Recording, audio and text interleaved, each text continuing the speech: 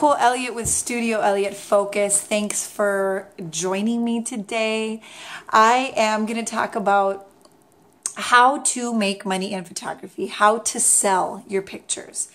Um, and I'm in my office, the perfect place to be. This is where I communicate with my clients. This is where I set up my shoots. This is my calendar. This is my editing room. This is my life right here. So it was just fitting for me to photograph it in that space. So you're a photographer or you want to be a photographer. You have a DSLR camera. You've taken pictures of family and friends and maybe a couple of people have asked you to do shoots for them, but you're still feeling like you have no idea what you're doing and you don't know how to create a business out of your passion. Well, I want to help you with that. I want to give you the foundation to learn to do it right and well the first time and not go back around and just wish you would have done it different from the get go. And so I want to give you those tools, those techniques to be able to do it right the first time. So, how do you sell your stuff? You know, I am just, I love sales. I've always loved sales. But a lot of times people ask me, I would like to do in person sales, but I am so freaked out about sales. I am not a salesperson, is what they'll say. And what I say to that is as long as you're passionate, passionate about what you're selling, you can sell anything. All sales is is a transference of emotion. Okay, if you can make somebody feel the way you feel about that thing, you'll sell it to them. That's all sales is, okay? So it's just, and, and if you're a photographer, then you've got to have some sort of passion. And you should have a lot of passion.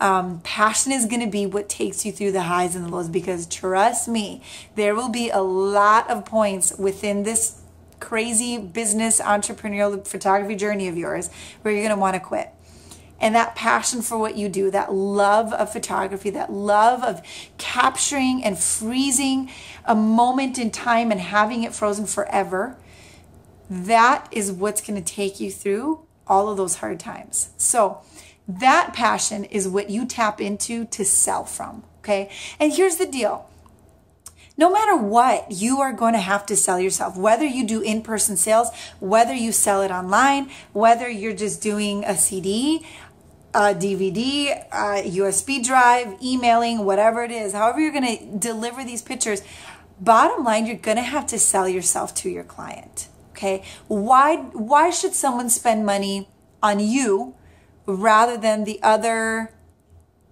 5,000 photographers in your area? What is so special about you? What's going to set you apart from them?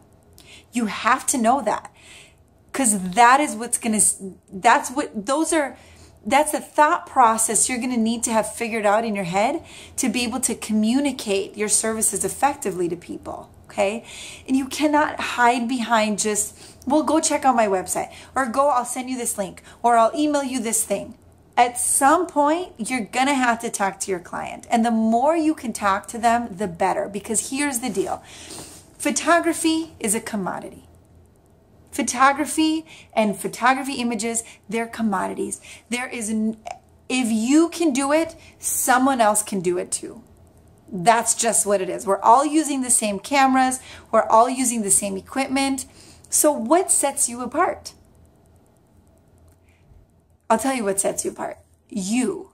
You set you apart. You set you apart.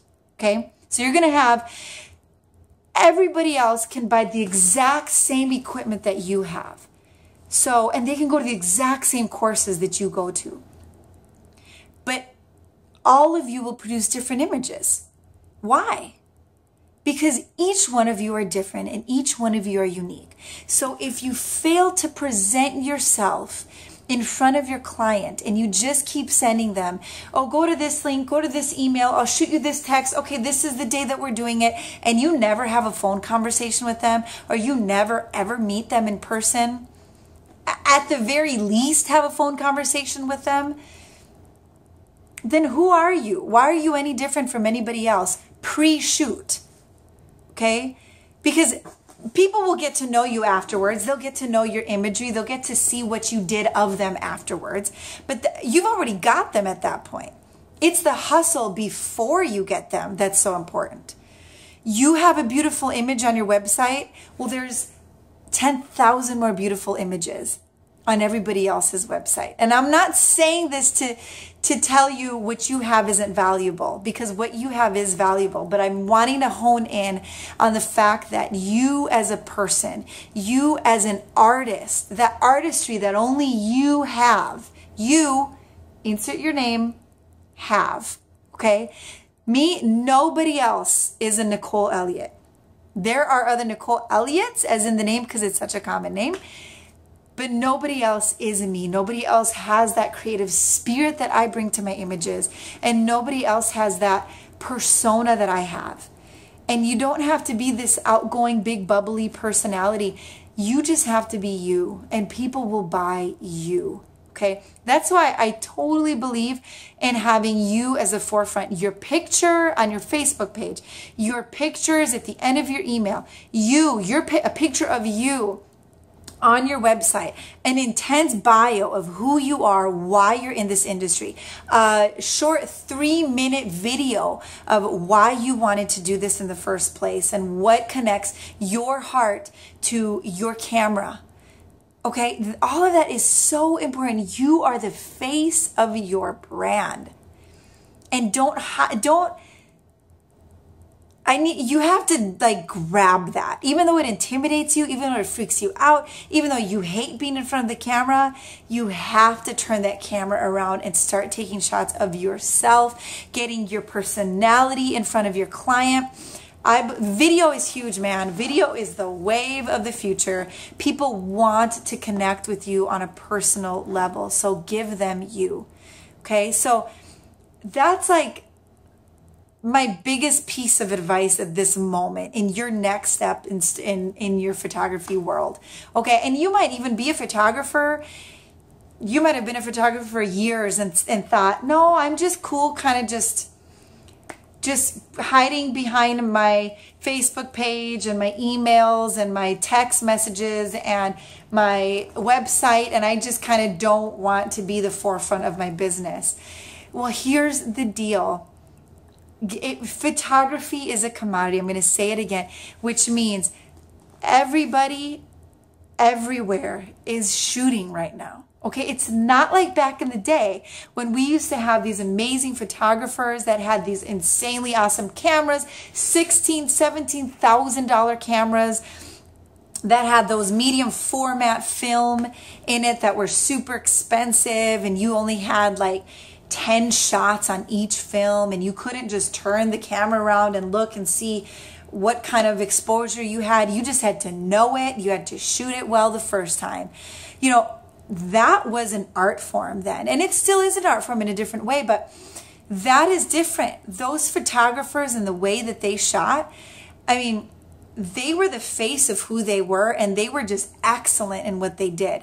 We live in a time now where every any artist can pick up a camera and just let their creative spirit soar. There's a new medium now in the camera industry that is now available to anybody. Whereas back in the day it wasn't. You weren't going to sell your car to get a camera and get into the photography industry. You weren't going to take years of classes and courses to understand how your camera works. Now it's different. Now you can. Now you can just YouTube how to become a photographer and watch how to do it, right? But what I want you to do is get back into that old photographer's mindset. Okay, and that's ultimately where I learned. I learned under those masters of photography. I started photography with a Canon Rebel film in 1997, which is like forever ago, forever ago. So I just, I want to get photography back to the excellence of what it was. Okay. And so this thought of just, let me take these pictures, burn them on a CD, and just give them to you because I don't really know how to edit my images. And all I know is how to throw a couple presets on there in Lightroom and just burn it onto this disc or send it to you in an email and here just pay me $250 i want to get away from that and i want to just bring the beauty and the art form and excellence of photography back into this industry. And i just want you to see it that way because really if you can learn to tap into that more ancient art form of in person sales or just being the face of your brand, um, being you as the forefront of your business, that is what's going to set you apart from all the other photographers that are in this industry now.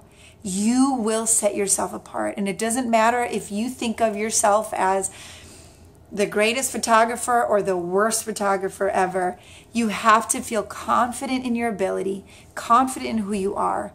And if you don't, then figure out a way to do that, okay? If you're not confident in your skill, then you're not going to portray that as the face of your business. If you're not confident in your skill, then get confident in that. Creative Live. Start tapping into creative live.com. Okay, if you don't know what that is, it's an amazing platform. They're out of Seattle. They have amazing photographers that go on and talk all about everything photography. They also do just business stuff and art stuff and speaking stuff, how to gain confidence in the way that you speak. I mean, it's awesome.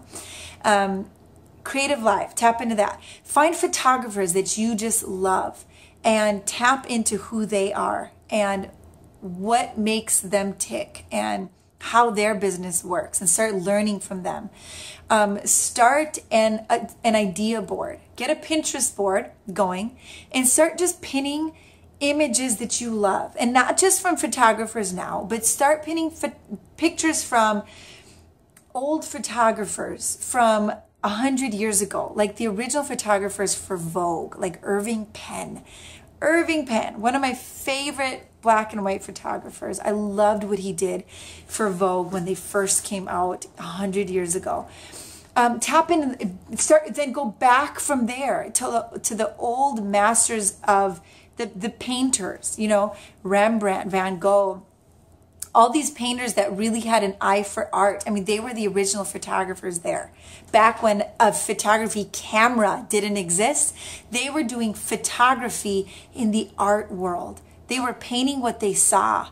And it was just a beautiful, man. Oh, I love when I go back home to the Twin Cities, I go to the art museums and I just like just stare at these images, these huge life size paintings. And you'll look at it and you'll think, oh my word, that's like a preset. That tone, those darks, those rich tones in that painting. I can do that. I want to do that. That is where my creativity comes from. And then you then I go into Photoshop and I start playing around with the tones and the curves and the color palettes and I start changing things around and turning them into me, into Nicole Elliott because I did the I did the back end work of filling my mind with all the art that really speaks to my spirit, all the photography that speaks to my heart and even things like the color palette in the skies, man. Learn from the sunset. Sunsets will like enrich your art palette inside of you so that when now you go into Photoshop or you whatever platform you use to create your art uh, with your pictures, now you have a more rich, um, creative spirit that has been fed because you've now looked and just fed that spirit with creativity so that when you sit down and when you actually edit something, there's a big well of creativity to draw from. That make sense? Okay. So then now, as you do that, that's what creates the uniqueness of who you are. That's what creates you. I wish I knew your name so that I could say your name. Okay. Your name is valuable. Who you are is valuable. Okay. These artists, of old and the photographers that you admire now, their name is valuable. They are the, at the forefront of their branding, the forefront of their business because it's who they are that has created the value of their photography business. And that's you right now. there's value in who you are. Don't just say, well, I'm just going to like, these pictures are pretty and I'm just, this is what I'm going to throw up there and hope that somebody just comes to me. That's just not how it works. I want you to have a valuable business uh, that means something not only to you, but to the people that see it.